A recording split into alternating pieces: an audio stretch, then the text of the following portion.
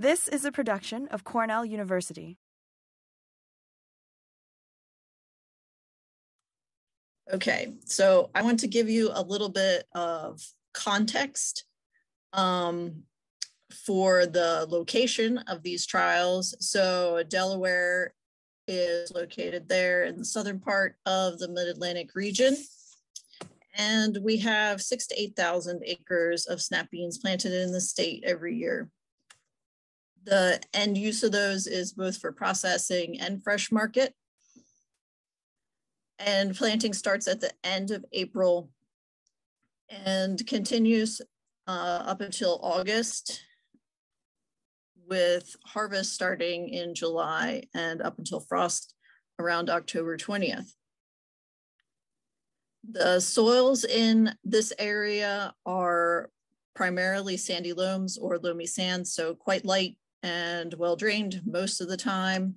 Um, because our soils are so light, all of our production is irrigated uh, with overhead uh, pivot irrigation in most cases. Uh, sometimes we do have problems with waterlogging and root rots. Um, we have pretty high water tables. We also have uh, uh, not so much in the way of topography. So uh, we get low areas in fields that don't drain. Um, so we do have some root uh, disease issues. And we do have annual problems with heat stress, especially in plantings that went in in May and June, and then um, are subject to high temperatures in June and July when they are flowering.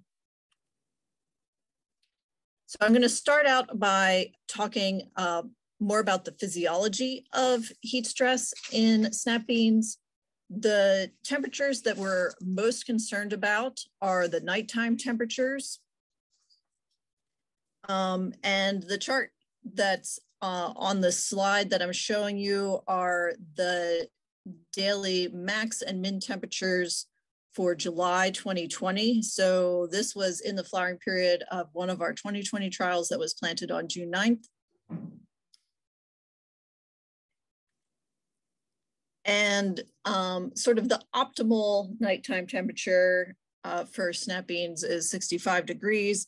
And we start uh, seeing quality and yield loss at 68 degrees at night. So you can see that uh, many daytime minimum temperatures are above that threshold of 68 degrees Fahrenheit in this time period and uh, harvest for this trial began on July 27th and flowering was around July 13th. Um, the most susceptible growth stage to high temperatures for snap beans is in the 10 days prior to flower opening and then during early flowering. So that is when the flowers and the flower buds, so the flowers that are forming, can be damaged by the high nighttime temperatures.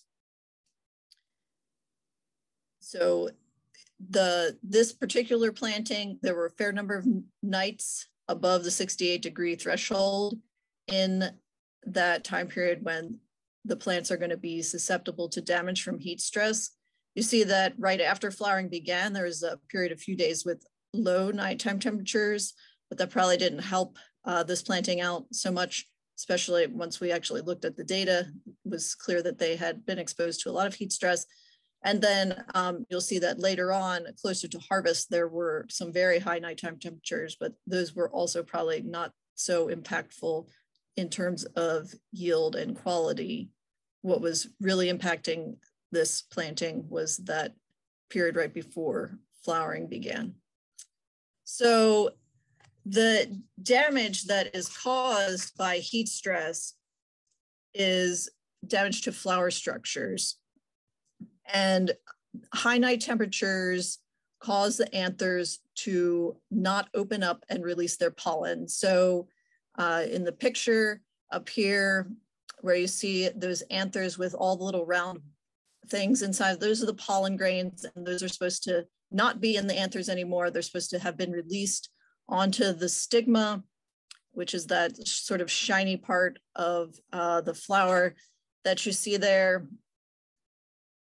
And they should be sticking on there, germinating, growing a pollen tube down and fertilizing the egg cell to make a seed. However, they can't do that when the pollen grains stay inside the anthers. On the right side of this slide, you can see uh, an image of some anthers that have opened up and released their pollen. These are anthers from a plant that was not heat stressed. And so there's not very many pollen grains left in the anthers. Instead, they have all ended up on the style and stigma of the flower where they can do their job of pollinating the other thing that happens with high night temperatures, in addition to the pollen not ending up on the style and stigma, sometimes the pollen that does end up there is lower quality. So it is less likely to germinate and form a pollen tube and cause fertilization. So again, the result is that you have fewer seeds, you have uh, misshapen pods. Because of those fewer seeds, you might not have pods setting or at all um, some pods that set might uh, or board or fall off. Um, and if you aren't setting pods at all, you may have delayed harvest. If you have some pods set and then um, a period of high temperatures, you may have a split set, which really makes people crazy when it comes to harvest time.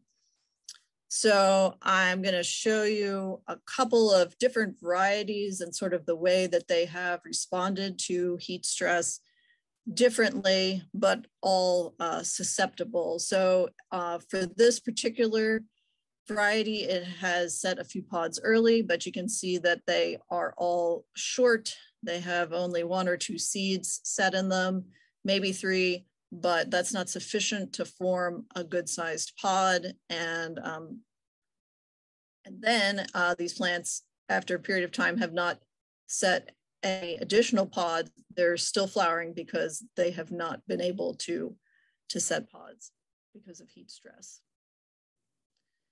Here's another variety. Some varieties will set pods even though the embryos, there are no embryos because the eggs have not been fertilized.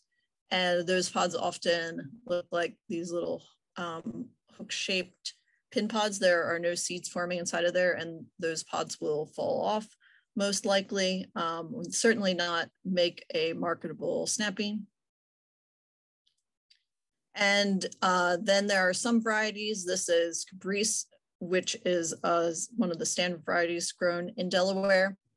This variety tends to set a fair number of pods under heat stress, but many of them are misshapen, um, and are probably going to be graded as culls.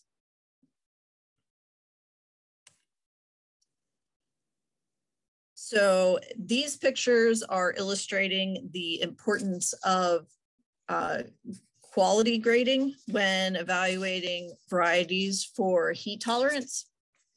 So at the top are two varieties that have been very heat tolerant in many of our trials. PV857 and Bridger. And at the bottom are two varieties that have uh, that are quite heat susceptible, Caprice and Affirmed. So uh, for each of the varieties, it's a 300 gram sample of pods that has been graded into the fancy uh, number one and cull categories. And um, you'll see that for PV857 and Bridger, most of the pods are ending up in the fancy and number one categories and not so many pods in the cull categories.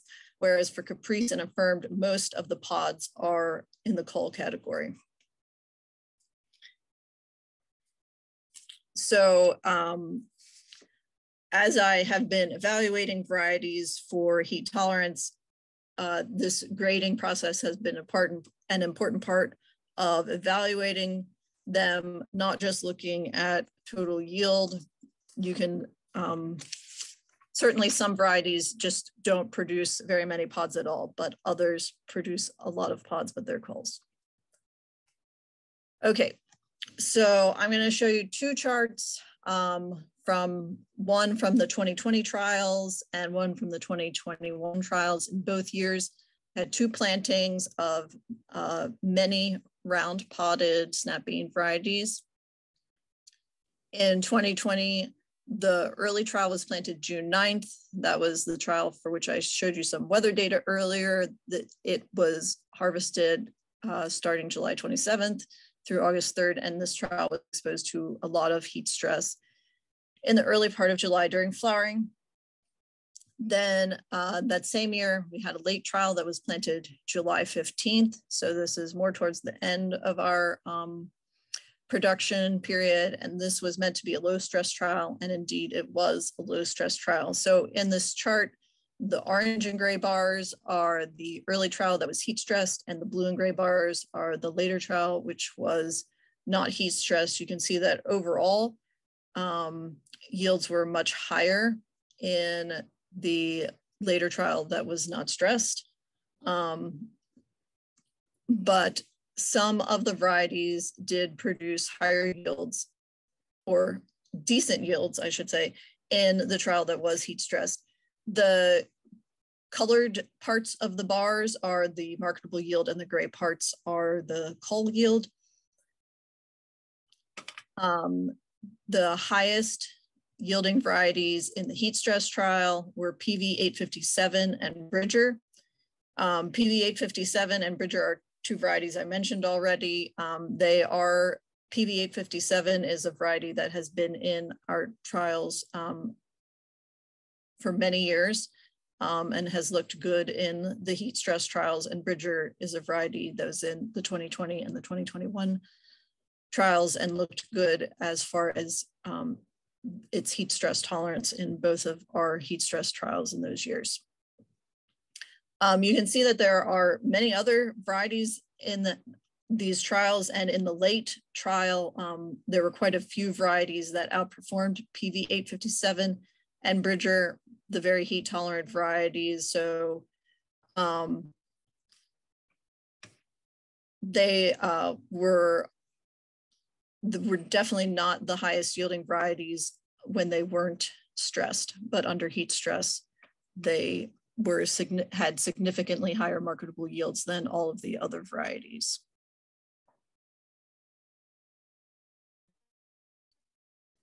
And this is a similar chart for our 2021 trials.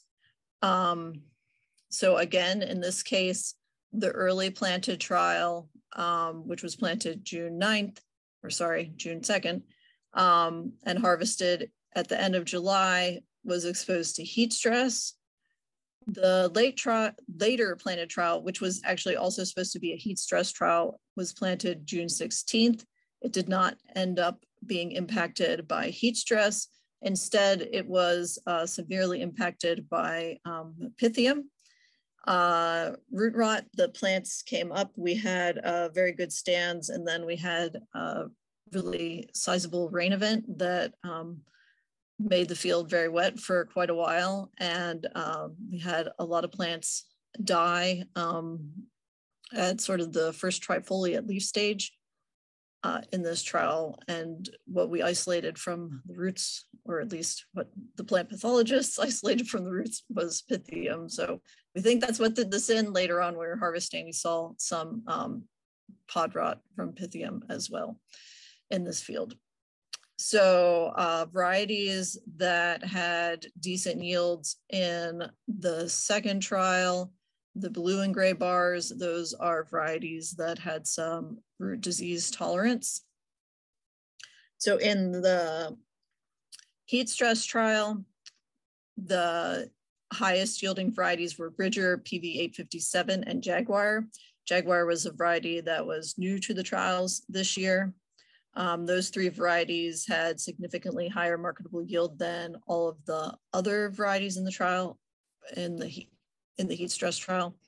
And um, I also wanted to highlight uh, HMX 0175722, which is apparently been named Bird and will be available at some point in the future, the not too distant future, I'm told. Um, so that variety was also in the 2020 trials. It it seems to be okay in terms of heat tolerance, but it was the highest yielding variety in uh, the second trial that was exposed to a lot of root disease. Um, that variety seems to have an awful lot of root disease tolerance, or at least to Pythia, um, which is what we had in this situation.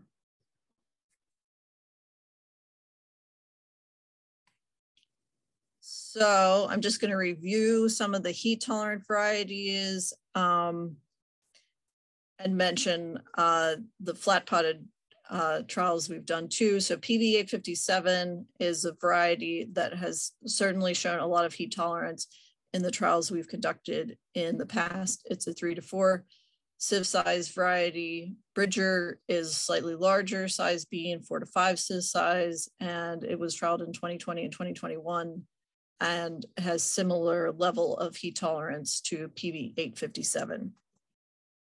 Jaguar was only trialed in 2021, but in that heat stress trial, it performed very well um, and had significantly higher yield um, than other varieties in the trial, along with PV857 and Bridger.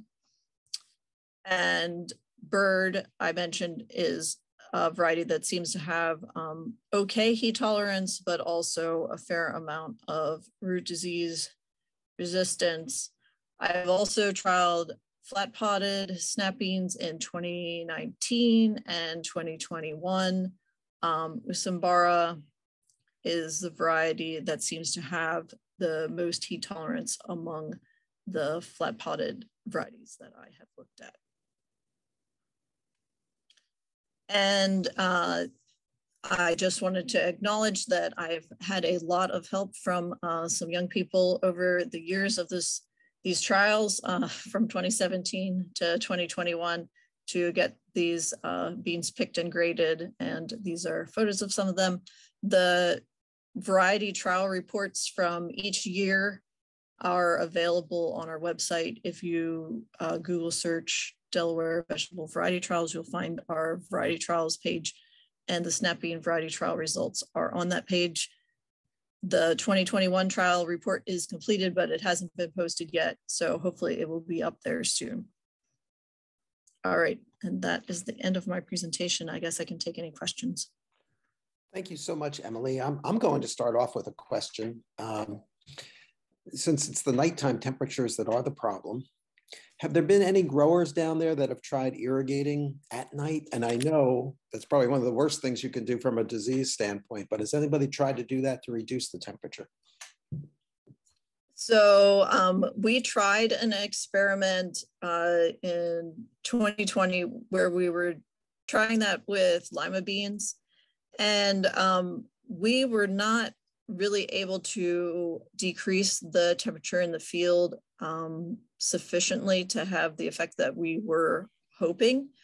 Um, we're also obviously really concerned about potential disease problems. That is something that we continue to um, think about as far as whether we could use a center pivot irrigation systems to cool fields at night, but we um, yeah, and I don't know of any growers that have tried it. Okay, thank you. Other questions for Emmalea? Emmalea, do you know how much this carries over to other types of beans? If this is just a snap bean thing, or if you're also impacting limas and flat pods and dry beans? Okay, so um, since snap beans and like dry Phaseolus vulgaris dry beans um, are the same species, the impact is the same. So is this, and um, lima beans are different species, but still phaseolus. And it is basically the same effects. The I would say the temperature thresholds are maybe a little higher for lima beans. Generally say about 70 degrees is when we start seeing problems in lima beans, especially baby limas, the larger seeded lima beans, so Fordhook types or the larger seeded pole types are more heat sensitive than baby limas.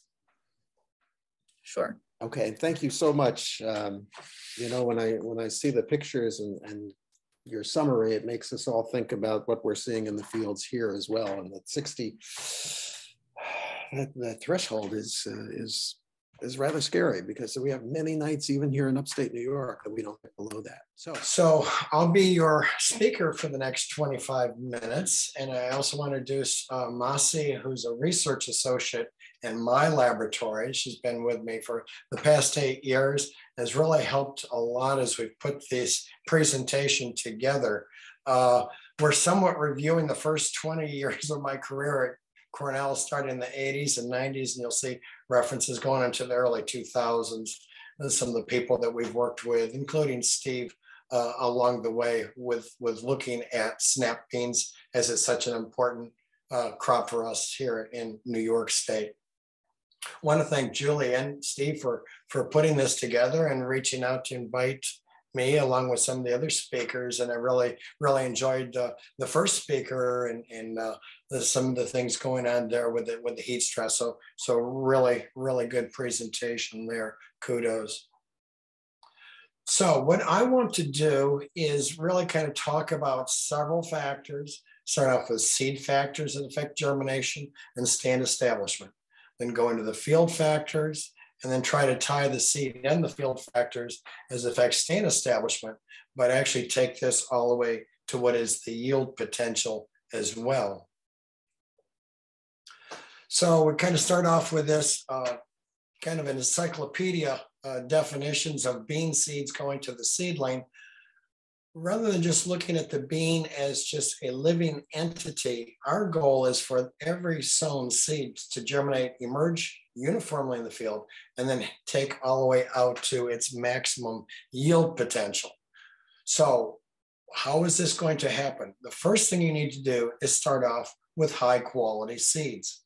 Looking at the figure on the right is kind of a generalized uh, depiction of what's going on after seeds are produced on the mother plant till the time that they're planted. There's that storage period, that time between uh, seed harvest and then sowing, and then what events are occurring on.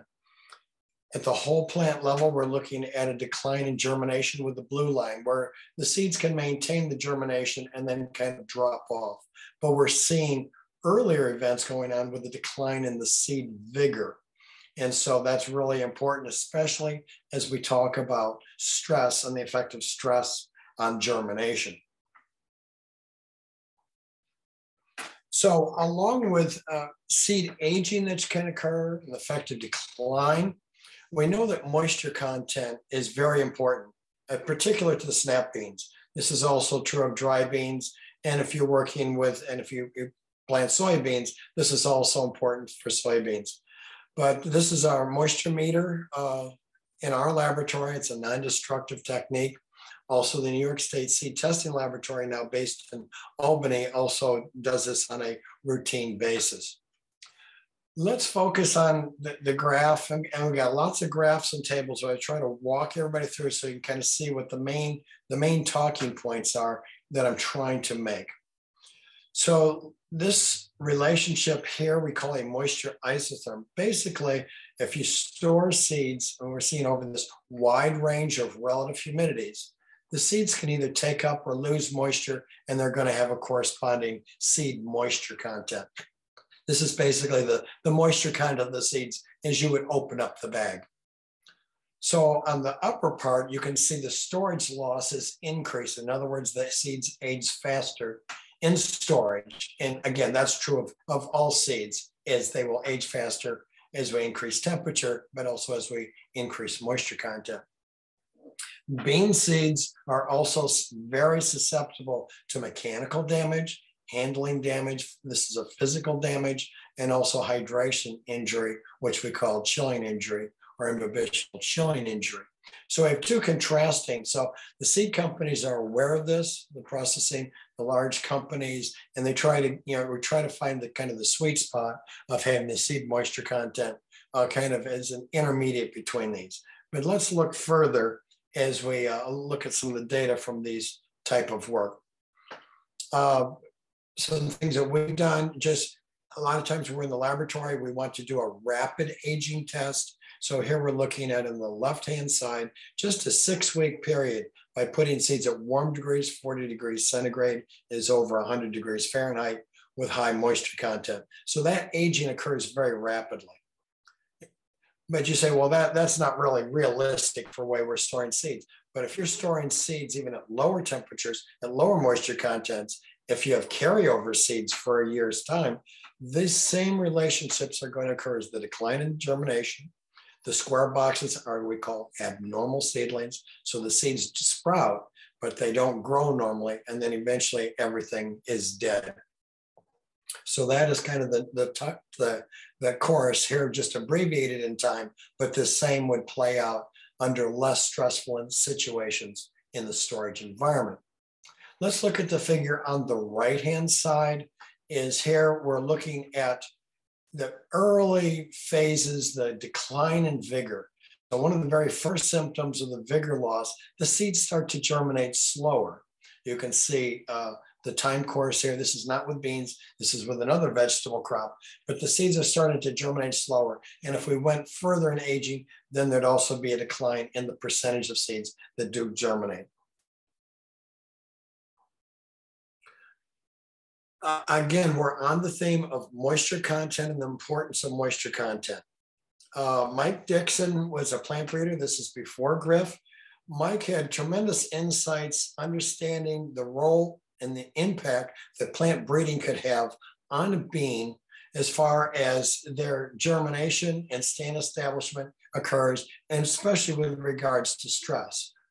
One things, as I mentioned, is bean sides are very susceptible to the mechanical damage. So bean, uh, so Mike set up this uh, stress test, which is basically, uh, as you can see, a, a, a stovepipe onto seeds onto a steel plate. It's a very good screening technique he used. He also did work with, with heat tolerance too. So again, a lot of that stuff tends to be forgotten, but a lot of classic work was done here at Geneva on breeding for stress tolerance. I want to show you the figure on the right is after those seeds get damaged, after they get dropped, we're looking at an x-ray and I was on sabbatic in Oregon State uh, this goes back to 1990 when I did some of this work. They had a nice x-ray facility there for doing seed quality work. And you can see those hairline cracks uh, in the seeds. The same thing as to say if you, you, you, you, you fell and you broke your arm or your wrist and you can see hairline fractures an x-ray, we can pick those up. Those damages to the cotyledons, again, are going to express themselves during the germination and tremendously weaken that seedling. Also along with the lines with the moisture content, in particular low moisture content is their sensitivity to cold temperatures, chilling temperatures. We had developed a, a cold stress test. You can see the beans on the left. And here we're looking at the same variety, the same line, and all we've done is changed the initial moisture content of that seed. So the table in, in the purple on the right-hand side, again, same variety, same seed line. The only thing that was different is we changed the initial seed moisture content to a low moisture, 8%, or a high moisture, 12%. The warm germination, which is your standard germination test, doesn't really show too much. So an ideal condition, not too much difference. But now when we put them in that chilling stress, now we see a very large difference where those low moisture content are really getting injured. Also, the seeds that were mechanically dropped to induce the physical damage, uh, again, we're seeing them, the low moisture content seeds. And then finally to field emergence, and field emergence also under a cold, wet planting situation in the spring also shows the effect of that uh, moisture content, and particularly the low moisture content of having a very negative effect on the stand establishment potential. So those are the seed related factors. Now we're going to move into the soil environment, uh, those field factors. So at the experiment station at the vegetable, we used to call the old vegetable crops research farm, uh, I was able to obtain data. The soil temperatures are recorded on a daily basis, the minimum and maximum. This is under bare soil at the two inch planting depth. So we're looking at an average over a nine year period. In blue is the maximum soil temperature, again, recorded in, in that daytime. The minimum, it'd be the coldest temperature. So we see quite a diurnal, in other words, a, a daily fluctuation in soil temperatures at that two inch depth. Why is this important? This is important to snap beans. It's important to vegetables. It's important to our friends working in fruits, to all crops, because this is basically is this the soil environment that the plants are going to be exposed to. Why it's important to us in snap beans is that we try to plant early and try to get earlier in the season, especially as those low soil temperatures. What is going to be the effect on the germination? What stress is going to be imposed on the time for the seeds to germinate? So here we we have data that we've taken out of the literature so there's different factors that affect the time for a bean seed or really any vegetable crop seed to germinate. One is called the base temperature. So in the case, a base temperature means if you go below that temperature, the seeds are not progressing uh, to them being able to germinate. So that's kind of the lower limit. Then the other is the growing degree days, which is like a heat sum unit uh, that's used so we can calculate this showing data from two different sources and some of the data where it overlaps, we see quite good agreement. As you'd expect, under warmer soil temperatures, seeds germinate very rapidly, kind of really just jump out of the ground there in the warm soil temperatures above, say, 75 degrees. But it's that soil temperature, and this is now an average soil temperature. This is not showing that that day night fluctuation, but a constant temperature.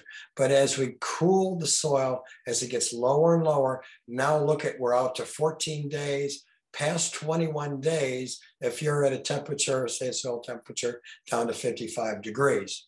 So, so essentially that jump you're trying to get, if you're trying to plant early, can definitely be offset by that extra period of time that's going to take for emergence to occur. Another stress is water stress. And everybody that grows crops is well familiar with water stress. And really can be in two forms. One is water stress in the form of a drought stress. Now, I didn't have data uh, for you on bean seeds. This happens to be on hemp, but it really doesn't matter because it shows the generalized response of seed germination as we decrease the water availability. We don't have to get fancy with the units, these MPa, the megapascals, but just knowing that we're going to zero means pure water and that we're getting less water available. Let's look at the very profound effect that has on the germination time course. So the seeds would germinate very rapidly if water is available, but then as less and less water available, we're starting to see a slowdown in the germination and then eventually a reduction in those seeds that can germinate. So essentially, this is again a, a major environmental stress as the water stress as a drought would occur.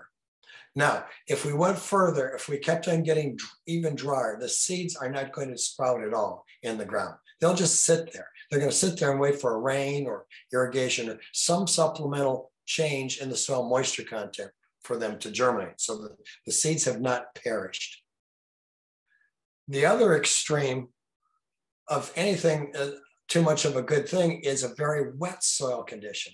And we can see some of the equipment that we had here, lab instrumentation to measure the oxygen availability, the soil oxygen diffusion rate uh, that we can do in the laboratory so we can kind of quantify things. So too much water is excluding that oxygen from moving through the soil Seeds, when they germinate, are respiring. They're just like you and I. We need to breathe. The seeds also need to respire. And once you can see that graph on the right, it's a little bit tricky, but look at the bottom axis, the soil oxygen diffusion rate. And then the red line is the percent seedling emergence. At high oxygen diffusion, good soil oxygen movement, we see a very high percentage germination. But then we get to a critical point where there's really a crash and the seeds are able to germinate. So once we get down below around about 80 uh, on that scale, then we see a very large drop in the germination. Unlike the drought stress where the seeds are going to sit there, these seeds are going to die. They're going to sit there and rot and because there's too much oxygen available. So this is kind of a, of a point of no return if you run into this particular scenario. The last of the physical stresses is the soil crust again, from our, our research farm at, at Geneva. You have a certain amount of a, of a clay, a heavier soil, Generally, our soils have low organic matter. So this is uh, just showing the, the nature of that physical crust. How do these soil crusts form? You have a time from the time of planting the seeds till the time they emergence. That's a critical period. That's when the temperature is important. You want that time period from the time of sowing, from planting to emergence to be short so the seeds can get up out of the ground and going. What we're seeing here is a sequence of event with rain, raindrop intensity. The duration of the raindrop is breaking down the soil structure, breaking down the soil aggregates. So those fine particles are starting to move to the top. And then the drying with sun and wind, we're getting a drying. And so basically that's where you get that physical barrier. So the seeds have germinated, they've sprouted, but they're not able to physically emerge. And obviously this can have a dramatic effect on delaying and reducing the percent stand establishment. Okay, we're gonna change now into looking at what, what is the effect now we have a given seed lot. The seed lot is going to have both high quality seeds, but there's always, you know, the germination is not going to be 100% on that seed lot. There's going to be some low vigor seeds also present in that seed lot. So, what is the consequence there when we're looking at the seedling emergence, the rate of the seedling emergence out in the field situation? So we asked this question again. We're going back into the 90s. Look at the people there on the right Hugh Price, Bob Becker, Jim Ballerstein. Uh, this is before Stephen even arrived on the scene. David was uh, my research technician at the time. So we asked these really kind of fundamental questions about how important is these seeds to germinate and emerge uniformly. So what we did is we took the seedlings, planted just the bag of seeds, particular seed lot, try to get a target distance between them about two inches apart between the seedlings.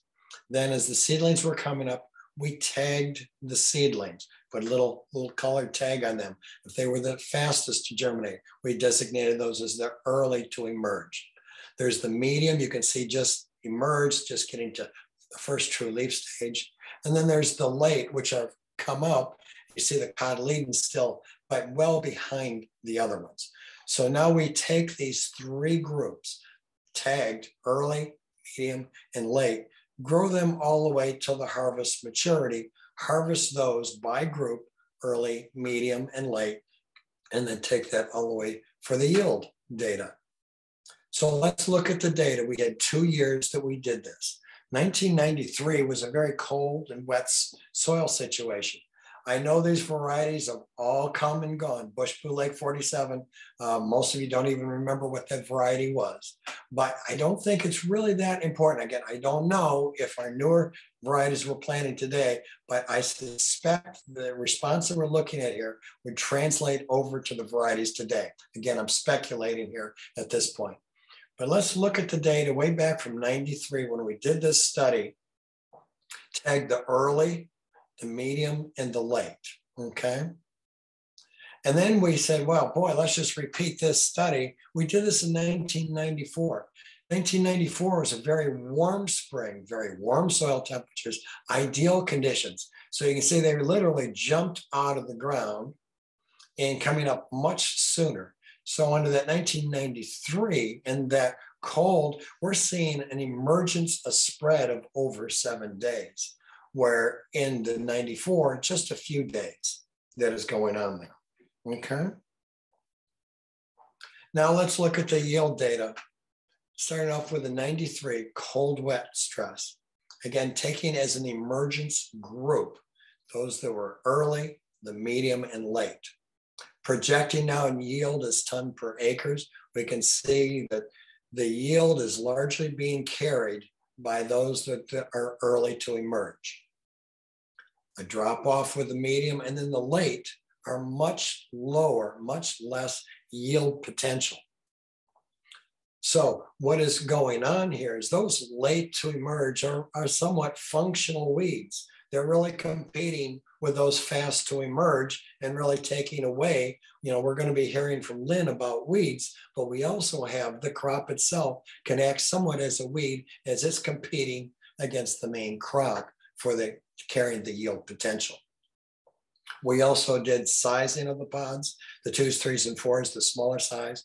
And as you would expect, the early to mature also had earlier harvest. So we see a change there to a higher percentage of the larger sieve size, the fives and sixes. Okay, let's look at the 94. This let's look at the also the, the Bush Blue Lake 47. So now we're not seeing the distinction between the early and, and medium as far as the statistics is concerned with yield. Remember, they only come up about a day or so apart from each other. However, the late is significantly less. And probably what's going on here, just like in any seed lot, there's going to be low vigor seeds present in that seed lot. And those low vigor seeds are also going to have less yield potential. And again, they're also competing against the early. So it's kind of a double whammy. Poor quality seeds, low vigor seeds within the seed lot, and also the competition against those that are fast to emerge.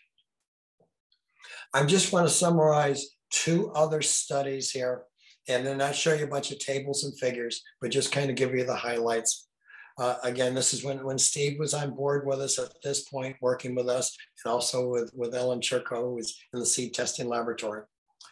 So our, our first study was, is many of the growers were purchasing seeds. They had a situation with carryover seeds. In other words, you purchase the, the seeds for this year, you don't plant them this year, you carry over the seeds in the bag in the barn until the next year. So we simulated that carryover seed with a very mild kind of a seed aging technique to simulate what happened over one year's time to do that in a month or two. Those carryover seeds had lower percent lab germination. We would expect that than the non-age seed lot. However, that loss in lab germination was also directly related to the reduction in field emergence, but also decreased yield. So now we're seeing the linkage that starting off with that high quality seed is very important and it carries through not just to the stand establishment, but also to the yield potential. Uh, Steve and I came back with a study. Again, varieties come and go, but I think we can still learn some things here. We had four seed lots of high style, one very high quality seed lot with 94% germ, three medium, what I'm calling from 78 to 80% germ. All these would meet federal standards uh, for germination of, of snap beans. Now, the high quality seed lot had greater field emergence than the other three seed lots. Again, we'd kind of expect that. But the yield from that high quality, the 94% germination, was greater and it ranged from about 12 to 18% than the other three seed lots. So again, starting off with a high quality seed. So I just want to kind of, I know I've hit a lot of things, and I do have a summary that I've, I've uh, turned in, so you have a, a written copy of, of follow this. There's seed factors, percent germination. Start with high quality seeds. If you learn nothing else from this presentation, start with high quality, get good quality seeds to begin with. Moisture content, in particular in beans, really important. Increasing moisture content, the seeds will, will decline faster in storage, but decrease moisture content starts to increase their susceptibility to the handling problems, the hydration, the chilling injury problems. Field factors are obvious with soil temperature. Stress occurs at, at, as we lower that soil temperature. And soil water content, of course, the water is necessary for germination, but stress occurs with either too much or too little. We saw the consequences of soil crusting. But that uniformity of seedling emergence is linked to yield. And so again, getting back to the theme, the high quality seeds have the potential for the greater stands, but also greater yield potential. So I want to thank everybody for your attention. I think we have a minute or two for, for questions. Thank you, Alan. It was fun to go back and uh, relive some of those things and, and with some of the issues that we still have. So I'm going to open it up to see if there's any questions here for, for people. I think, I, again, I know it's a lot in a short period of time. And again, you're seeing 20 years of my professional life flash before your eyes in 25 minutes. But I think if you go back once the summary uh, becomes available to you, you have the same information that you can read through and kind of help digest it a little bit better. Thank you. Yeah, we will get that summary out.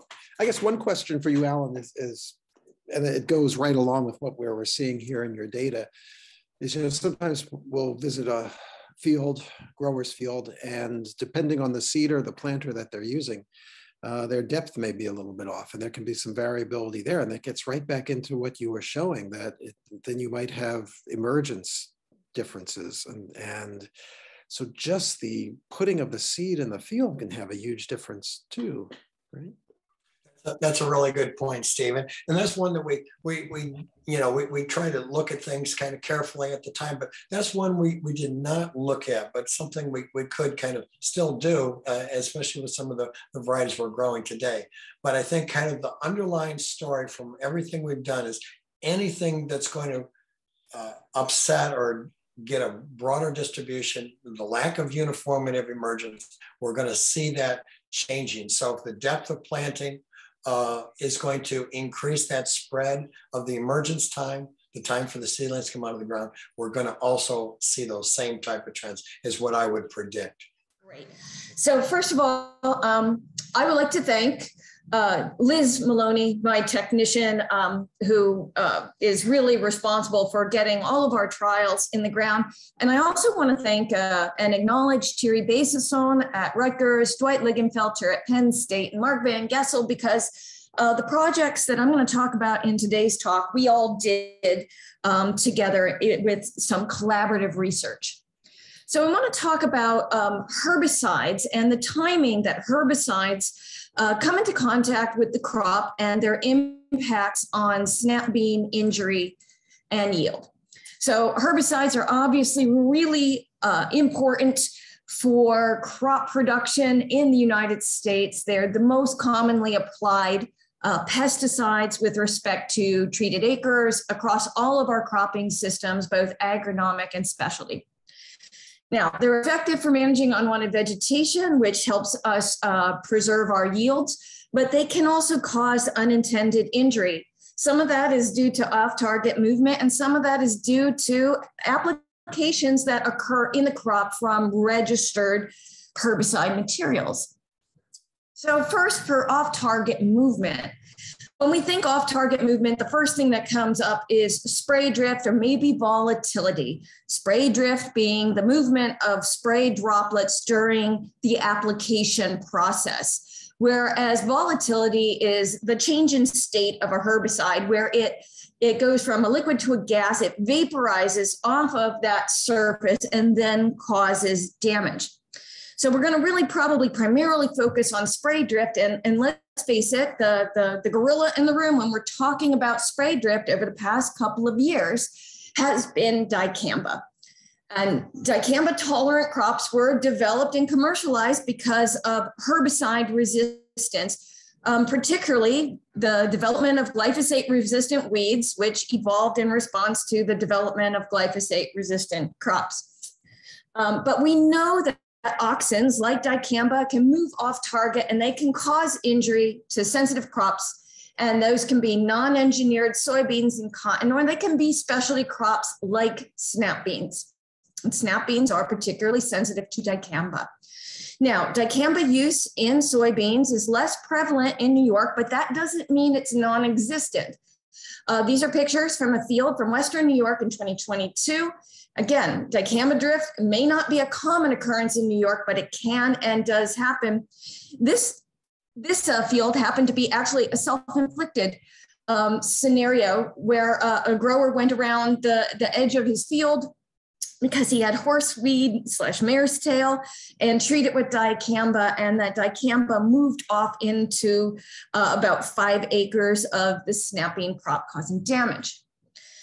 So with uh, the you know the rise in uh, dicamba use throughout the United States, and with the increase in reported dicamba injury, Thierry Besançon at Rutgers and I uh, started a trial in 2020 to look at the impacts of low doses of dicamba on snap bean injury and yield when they were applied at either the V2, the first trifoliate leaf stage, or at first flower. And when we talk about low doses, we went down and looked at doses as low as one ten thousandth the field rate, the field rate being 22 ounces per acre. So this is our plant size at harvest as a percent of the check. So assume the check is 100 and everything is adjusted relative to that check. If the check's 100%, everything is adjusted down. And, and what we saw is that for dicamba treatments at the one five thousandth rate or higher, uh, we saw plant stunting. We saw growth inhibition at that V2 stage that, that lasted throughout the season and was visible at harvest timing. So we had injury and it, it manifests as, as distortions to leaves and stems, but it also manifests as growth inhibition. And we could see this. Now, we didn't see it with applications made at first flower stage. Uh, in fact, we didn't see any appreciable differences in plant size at all. So if you were looking at these plants from a distance, you know, there would be nothing with respect to canopy development, you know, that would, would tip you off that there was some sort of damage occurring. However, what we did see is yield loss nonetheless. And so we saw yield loss associated with V2 application, but also the first flower application. So the V2 application was in, in, associated with, again, the injury and the reductions in plant size that we saw. We saw the reductions in the yield, but we saw those reductions in the first flower, even though we didn't see smaller plants. And that's because what we had here was these applications, we had some distortions, but what it really did is it interfered with the development of flowers and pods and reduced our yields. So this this movement of uh, off you know chemicals that um, are maybe applied in in adjacent fields can have a significant impact on you know, snap bean growth and development, and this can have a significant impact on the amount of yield that you can uh, achieve. Again, at, at, our highest rates, you know, we're looking at a 97% yield loss, 85% yield loss. So these are substantial. Now there's in-crop applications. So applications that are made with herbicides that are registered for use in snap beans that can cause injury to snap beans themselves. And we're going to talk about post-emergence herbicides, and we're going to talk about three of them, Basagran, Reflex, and Raptor. Um, they're important herbicides. They're often used in combination with each other, in part to manage weeds because they do have different spectrums of control uh, but also, uh, in the case of Raptor, um, wanting to tank mix it with Basagran to reduce injury potential. Now, I do want to point out there's two asterisks on this on this slide, and uh, we'll talk about this at um, a later a later presentation or timing. Is that we do have resistance to uh, these um, active ingredients to these herbicides. So with Raptor, we do know that we have pigweeds in the state of New York that are resistant to ALS inhibiting herbicides. And with respect to the Basagran, we're um, doing confirmatory studies right now with Caio Brunharo at Penn State, is that we do have, appear to have certain populations in New York that, that are not responding to Basagran. We have one population that we have survivors at even um, 12 pints per acre rate.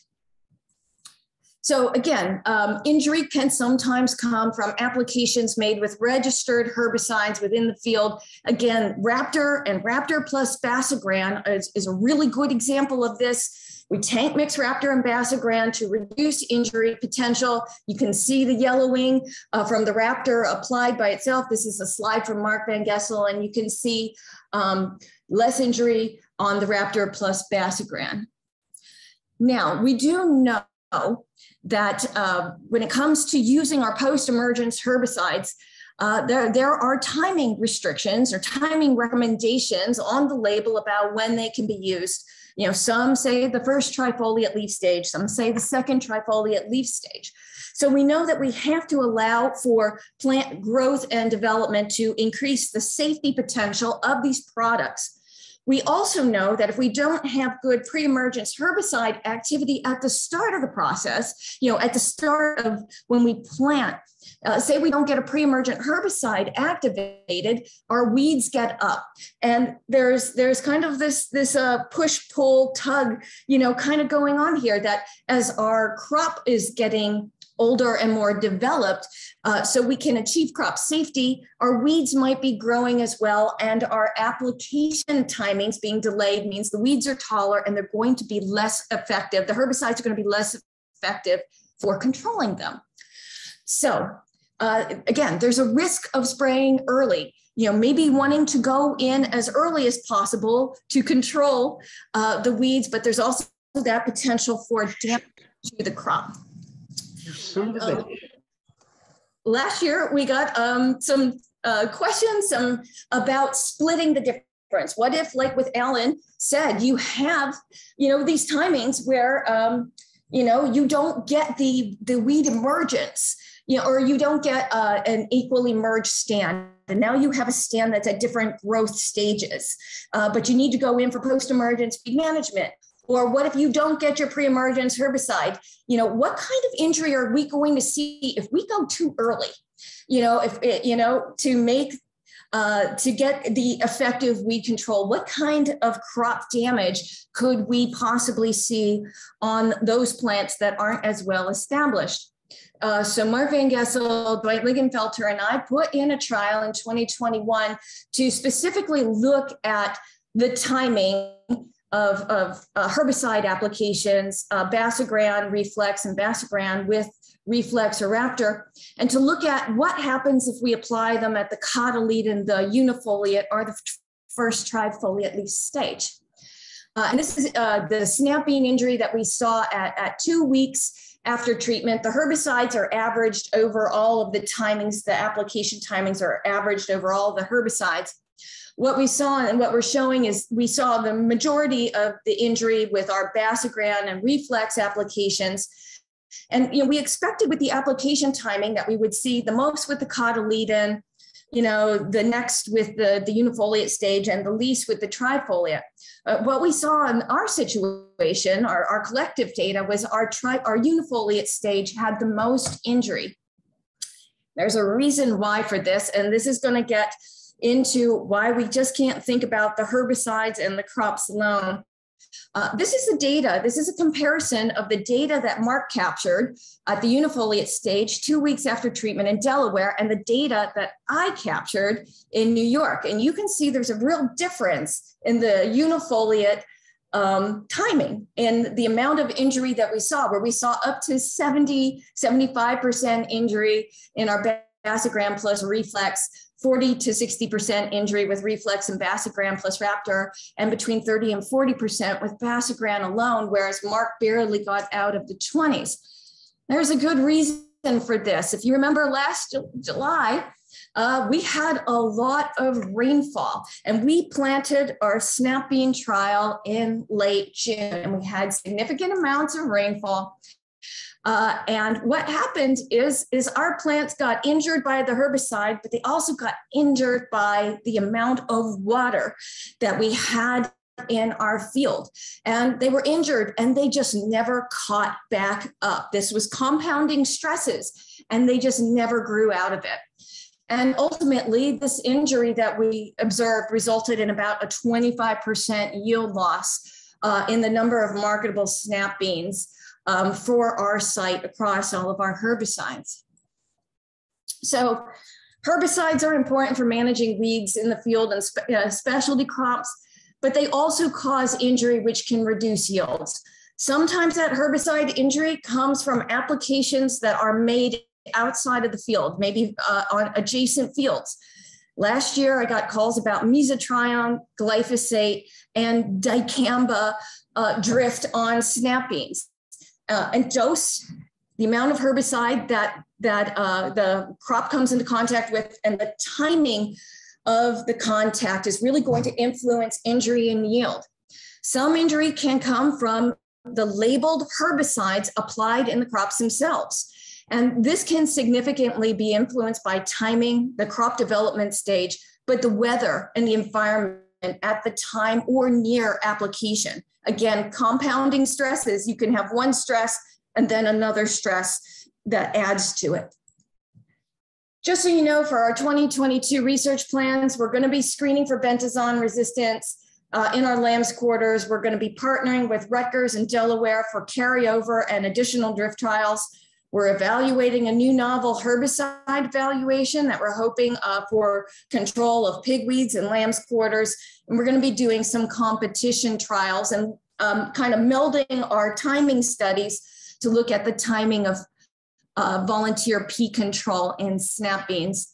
And thank you very much to the people and organizations who sponsored the research.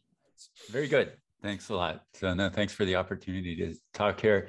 Um, so this is sort of a familiar topic that it's a tricky one to deal with. Uh, Lynn showed the the orca traveling down the street in New York. Uh, great conditions for getting good bean root rot. Um, so we're going to have root rot. There's there's no getting around it. But how do you make it less bad? And so for those of you, few of you unfamiliar with bean root rot, um, there's a whole bunch of different organisms that cause bean root rot. Fusarium and Pythium are probably the most common ones. Um, the presentation of the disease is a little bit different with each one, um, but my simple-minded approach to it is that most of these are there all the time. So you have inoculum no matter what you do. You just want to keep the population of the inoculum as low as possible, avoid infection conditions, and keep the beans happy so that they're growing well. That's really the best you can do. Thankfully, cover crops can be very helpful for achieving those goals. Um, so when we think about uh, growing our beans, so on the left there we see um, that we want to have a fairly uh, flat surface so that we can get those beans. Ideally, they would not actually be touching the ground, then you're going to get pod rot. But um, there's really not a lot of space in between there. It's easy to get splashing. Um, but we want to keep that surface flat so that the, the harvester can come through and pick those beans up. So that has implications for how we manage the surface of the soil. Um, so one of the, you know, if you want good infiltration, um, you don't want compaction. Um, but we have some good devices for creating compaction in bean fields, particularly during harvest, uh, particularly if it's a little wet during harvest. There's, you can't wait another day or two for the field to dry out or the beans will be so over mature, they're not useful. So this is a, a challenging call to make. Um, you, if you're going go into a wet field to harvest, you are expecting to have more root rot in the future. There's just no getting around it. But we can counteract that a little bit. Uh, so one of the important points to make about cover crops is if you really want the cover crop advantage, you also have to reduce tillage. So I have a figure here. This is from Tennessee where they were doing um, two different winter cover crop treatments and compared to fallow. And the, it shows what the infiltration rate is. So when you have a heavy rain, how, how quickly does the, or how much water can you get rid of um, in the first several hours? And in the tilled ground, the cover crops really didn't have that much effect. It went from like an inch and a half of infiltration to about two inches of infiltration. So it mattered, but it wasn't great. If they reduced the tillage, and that's all they did. They got a similar effect, so from an inch and a half to two and a half. But they combined that with the cover crop. So now the cover crop can do its work on improving infiltration. Now they were getting five inches of infiltration. And since we have rainfall events now of four inches or so, um, the difference between having two and a half inches of infiltration capacity and five is enormous. Um, but how do you do that in a in a bean rotation. So on the left, I've just done a little schematic of something, uh, a reduced tillage system uh, that uh, is actually, it's working for some bean farmers in New York. The um, having uh, the GPS guided uh, steering so you can hit these slots is useful. But the idea is to have the lighter colored areas is the tilled zone and the darker colored areas are the untilled zone. So this is with the deep zone tillage uh, tool. Uh, the darker area now has a place for the roots to stay, to decompose, for the worms to go. for all those things that generate infiltration, they have a place to continue doing that. You're not destroying all the infrastructure every time you till. Um, so anything you can do to reduce that tillage um, in a zone. So it's not gentler tillage. You're not going from mold board chisel or anything like that. It's leaving some parts of it untilled is the key. Um, in this one, I've also drawn in a lighter color on the surface that um, for growing beans, you do have to incorporate residue or cultivate or something. So having a little layer of soil on top that does get cultivated is fine. The key is to leave those big blocks of untilled soil uh, as best you can. So it's, it's something that is happening in New York. I don't think the adoption is huge, but I think there's a lot of value to going there. And this is showing what happens when you get the soil aggregation. We've got um, the crumb allows, you can see that there's opportunity for infiltration, also for absorption of water into those aggregates. So it's not free water that's letting the pathogens grow. Um, and this is what it looks like when you have no-till. Um, this is just a couple of years of soil that was untilled. And we're basically doing what I diagrammed before. And um, those of you familiar with the vegetable research farm, that we've got a very high potential silt loam soil that if you beat it to pieces, it will form concrete very nicely. Um, and sometimes when we do research, we beat it to pieces. So this is what I started with and uh, what I ended up with. And you can see there's quite a few big holes there. Those are actually where worms live. There's some small holes where the roots have been, and there's some little roots sticking out the bottom too. Um, so you're getting um, holes, infiltration, a structure um, that will support heavier equipment as well. So you're um, you have the potential to do less compaction with this method also. And forming the aggregates, they're in all different sizes. So here shows the different scales of the aggregates. So the, the macro aggregates are really the roots and the hyphae that are forming those. Um, the micro aggregates, um, you're down to your uh, fungi in large part are forming those. Um, to show what that really looks like in action. So this is in the middle, you see a root, and around it, you see soil particles of various sizes and detritus of various things. Um, and this is what a root looks, the soil sheath looks like. It's glued together. Those are aggregates that are formed. This root was washed with water before they took the micrograph. So this is what does not wash off. It's pretty good glue. And as you can see, it's a nice aggregate, all different sizes of things in there and makes a nice big particle that goes on to last for a long time. Um, those make the tillage easier and uh, makes the water run away or get absorbed so that your root rot pathogens don't have as good a chance and your uh, beans are healthier. So I'm going to talk about some specific cover crops now um, that can be helpful. So um, I think quite a few people have tried uh, tillage radish. Um, as a cover crop, uh, and it behaves pretty nicely. Um, but for getting at the pathogens that cause root rot, rapeseed is actually better. Um, it produces more of the suppressive compounds in the roots. Um, this is what it looks like after um, we've had a freeze, so it's starting to die down. Um, all this green stuff is protein that's going to decompose during the course of the winter and into the springtime. Uh, the roots are really where the action is. The roots are already right up next to your pathogens. And so when the roots die and um, the glucosinolates break down, they kill the pathogens and reduce those populations. Um, this is a, a brown mustard. So there's a couple of varieties, Pacific Gold and Caliente.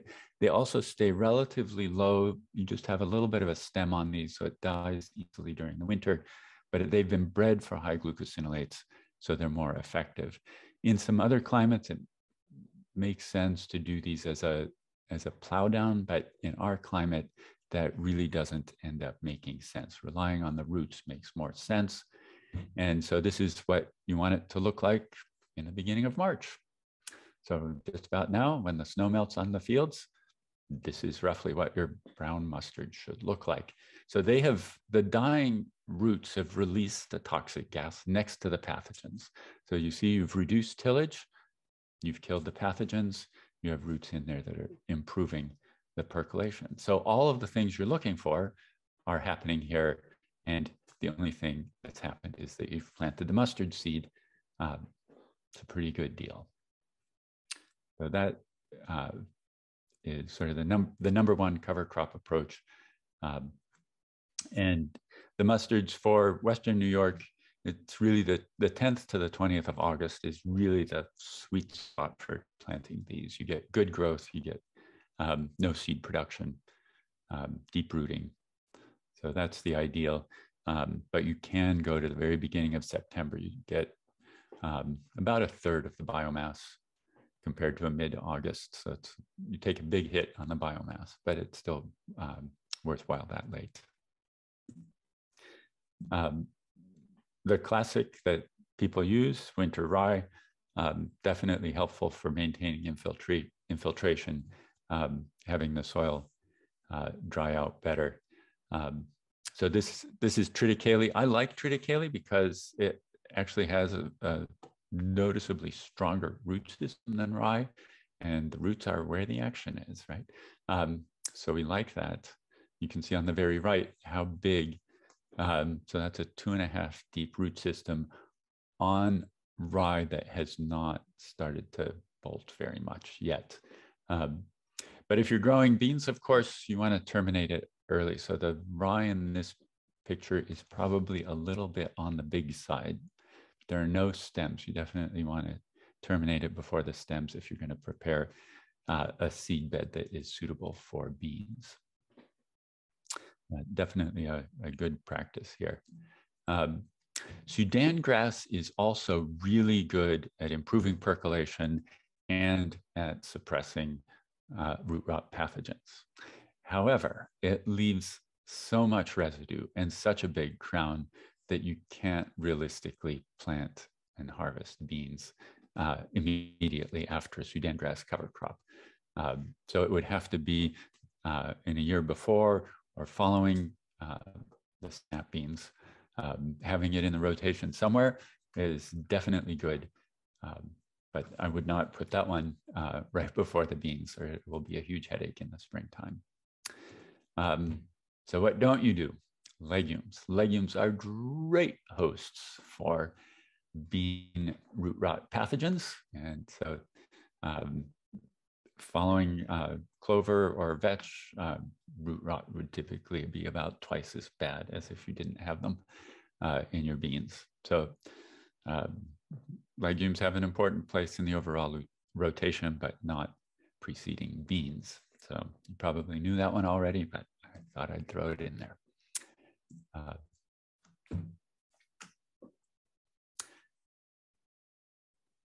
so the key, reducing root rot. So the, the pathogens are always there. Um, can't get around that. You want to reduce their population to the extent you can. Um, you want to make sure that you have as much infiltration in the soil uh, as possible and water holding in the soil as possible. And you want to keep your uh, beans as happy as possible. And um, yeah, they don't like hypoxia. I think we, Alan Taylor showed how unhappy they are uh, when they don't get oxygen. Uh, and yeah, Lynn showed what the, that they don't grow out of the herbicide effects either. Uh, so percolation and water holding, super important when growing beans. Um, so what are the practices? Reducing traffic, controlling traffic. I think the um, the move to uh, GPS controlled tractors and controlled traffic in um, large scale uh, vegetable production is fantastic. We're in effect doing permanent beds there. It, it has huge benefits. Um, thinking about reducing the tillage volume rather than the tillage intensity is probably useful because those untilled areas are the ones that develop um, all of the holes, all of the support structures um, for equipment. Um, it's a big change to do that, uh, but it seems to be paying off well in New York. And then use the cover crop. So the the usual um, winter grain over the winter, but terminated early. We're using the crucifer cover crops in the fall, having them winter kill so that it leaves the soil surface in a good condition uh, for planting and harvesting beans. So that's where I'm going to finish up mine. Thank you, Thomas. Any questions for Thomas?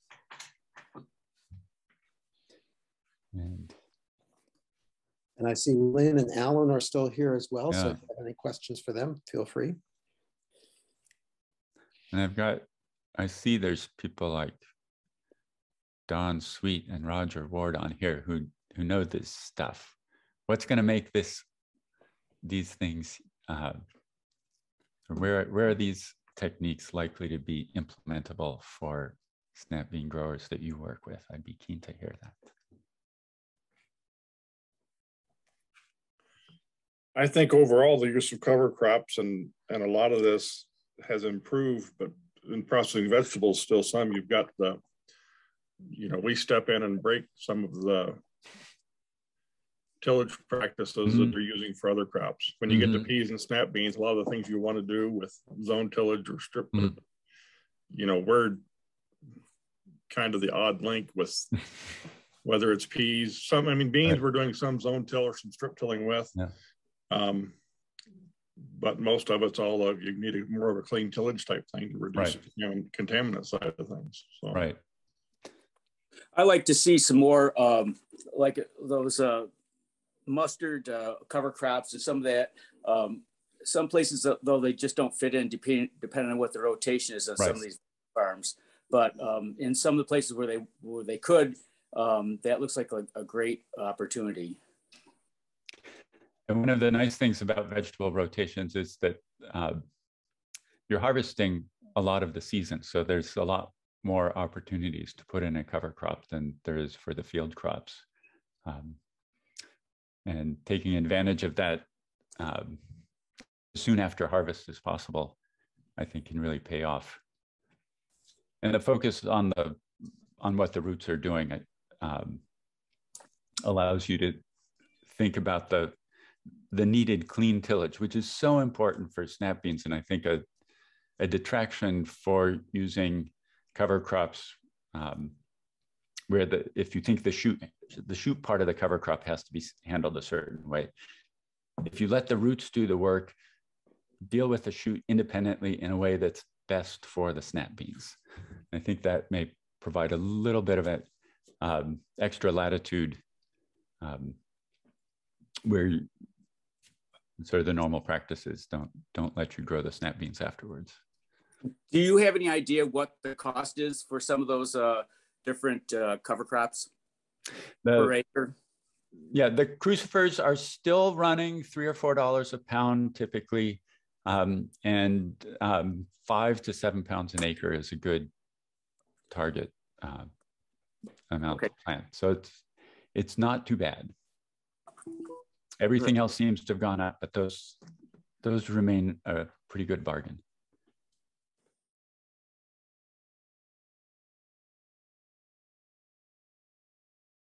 This has been a production of Cornell University on the web at cornell.edu.